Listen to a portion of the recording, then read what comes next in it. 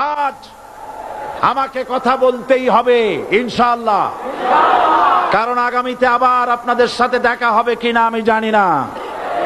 কথা বলতেই হবে। বসেন! কেউ দাঁড়িয়ে থাকবেন না। আমি দেখতে পাচ্ছি, বাংলাদেশের ভাগ্য আকাশে উত্তর গগনে কালো মেঘ জমা হয়েছে। ঝড়ের পূর্বাভাস লক্ষ্য করছি। যদি মোকাবেলা করতে না পারেন সক্ষম ভাবে এমন অন্ধকার, গাঢ়, কালো অমাবস্যার রাত আসতে পারে, যার সুবে সাদে খাওয়া অসম্ভব। সুতরাং আপনারা কি কা পুরুষের মতো কাফের মুশ্রিকদের গোলামি করে মরতে চান? বিড়ালের মতো পাঁচশো বছর বেঁচে থাকার কোনো লাভ নাই। সিংহের মতো এক ঘণ্টা বাঁচতে চাই। আমাদেরকে বলা হয়, সাম্প্রদায়িক উস্কানিমূলক কথা নাকি আমি বলি? পত্রপত্রিকা দিছে না তারা? সাম্প্রদায়িক উস্কানি কথা। সাম্প্রদায়িক উস্কানিমূলক কথা বলি, সেই জন্যই বোধ হয় শত শত মুসলিম আমাদের কাছে এসে মুসলমান হয়। মানুষে আর বোকা বানানো যাবে না। যাবে কি? আর বোকা বানানো যাবে? তারপর বলছে কি? এরপরে বলছে, আমাকে বলছে, রাজাকার। শুনে রাখো, চট্টগ্রামের লক্ষ লক্ষ জনতা, পার্লামেন্টে যখন আমাকে এই কথা বলা হয়েছিল, আমার পার্লামেন্টের কলিগ জাফরুল্লাহ চৌধুরী সাহেব বসে আছেন এখানে। হ্যাঁ? জাফরুল ইসলাম চৌধুরী বসে আছেন পাশে। প্রধানমন্ত্রী সুদ্ধা, অন্তত তিন শতাধিক পার্লামেন্টের সম্মানিত সদস্যরা সেদিন বসা। উনিশশো সাতানব্বই সনের বাজেট বক্তৃতা যখন আমি করতেছিলাম, ডক্টর কুদরতে খোদা নাম রাখছে কুদরতে খোদা, আসলে গজবে খোদা।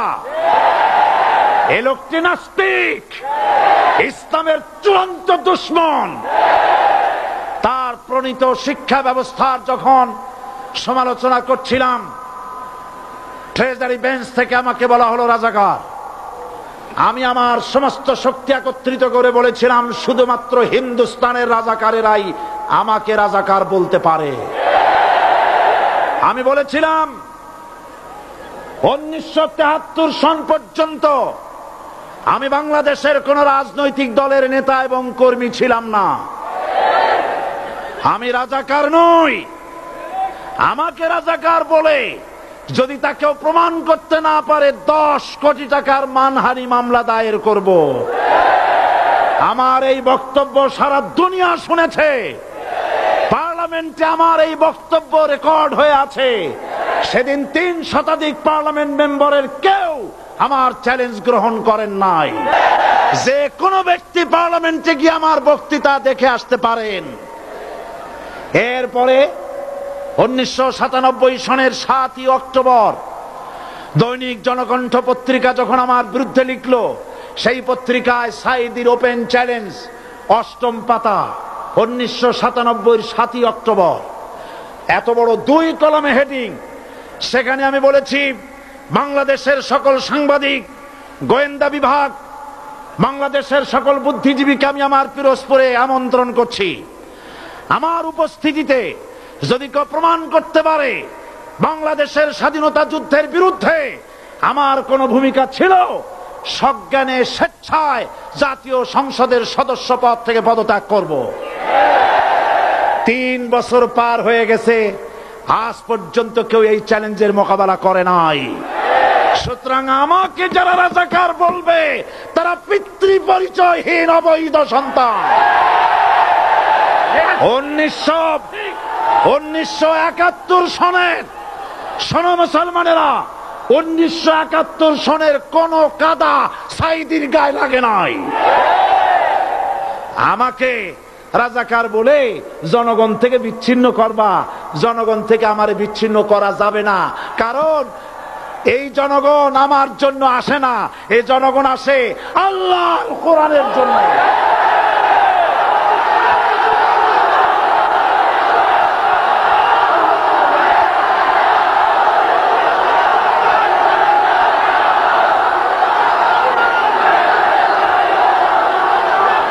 আজকে আর যারা ইসলামের কথা বলে, যারা ইসলামের কথা বলে, তারাই রাজাকার, তারাই মৌলবাদী। মৌলবাদী বললে আমরা অসন্তুষ্ট হই না, কারণ মৌলবাদী শব্দটা আসছে মূল থেকে। মৌল শব্দ এসেছে মূল থেকে। মূলবাদী, তার মানে যারা মূলে আছে, মূল হলো কোরআন, মূল হলো হাদিস, মূল হলেন আল্লাহ, মূল হলেন আল্লাহ রসুল। আমরা আছি মূলে। এখন বলেন তো মূলের শক্তি বেশি না আগার শক্তি বেশি? আমাদের যারা মৌলবাদী বলে ওরা হলো আগাবাদী। মূলে আছে কত কোটি? বারো কোটি। মূলে আছে কত কোটি? আর আমাদের যারা মৌলবাদী বলে ওই থাকো গাছের আগায় আমরা মূলে। লাভালাভি বেশি করবা না। বারো কোটিতে গাছের গোড়া আসতে নানা দেবে মামু বাড়ি দিল্লি গিয়ে পড়বা। বাংলার জমিনে জায়গা হবে না। এ কথা বিশ্বাস করো। বাংলাদেশের মুসলমানদের শরীরে এক বিন্দু রক্ত থাকতে শয়তানের তৈরি করা ধর্ম নিরপেক্ষ মতবাদ বাংলার জমিনে কায়েম হতে দেওয়া হবে না হবে না।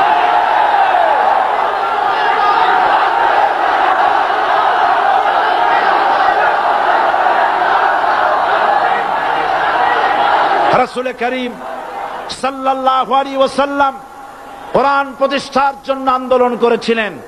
আয়াতুল কুরসি আমাদের সে কথাই শিখেছে।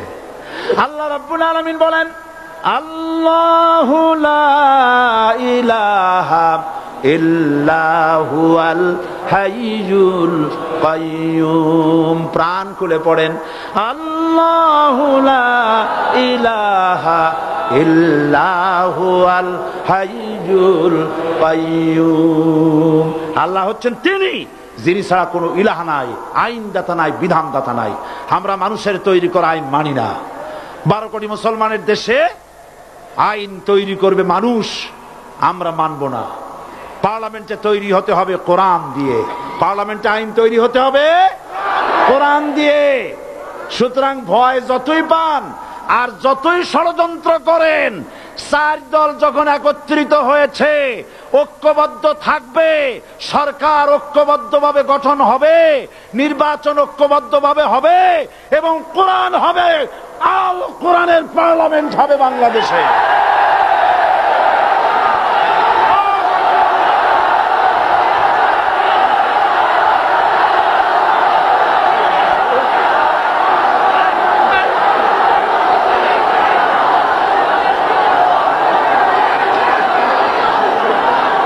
বীর চট্টলার, বীর চট্টলার মুসলমানেরা, বীর চট্টলার মুসলমানেরা, স্বাধীনতার ঘোষণা। এই চট্টগ্রাম থেকে স্বাধীনতার মহান ঘোষক প্রেসিডেন্ট জিয়াউর রহমান সাহেব দিয়েছিলেন। এই চট্টগ্রাম থেকেই ইসলামী রাষ্ট্রের ঘোষণা হবে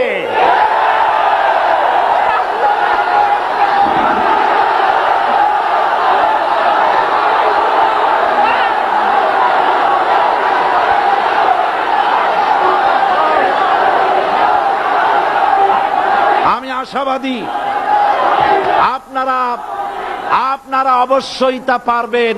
আমি হান্ড্রেড পার্সেন্ট বিশ্বাস করি, ইনশাআল্লাহ। কারণ যে ষড়যন্ত্রের মোকাবেলা করে স্থানীয় রাজনৈতিক দলের নেতৃবৃন্দ কোরআনের মাহফিল সিনায় এনেছেন, আমি প্রথম দিনই বলেছি, চট্টগ্রাম তাফসিরুল কোরআন মাহফিল কোন রাজনৈতিক দলের প্রতিনিধিত্ব করে না। এটা কোন জামাত শিবিরের একত সম্পদ নয়। এটা চট্টগ্রামের মুসলমানদের কলিজা টুকরা তাফসিরের মাহফিল।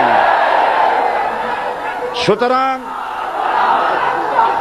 এই মাহফিলের এই মাহফিলে, এই মাহফিল চট্টগ্রামে থাকবে ইনশাল্লাহ কেয়ামত পর্যন্ত।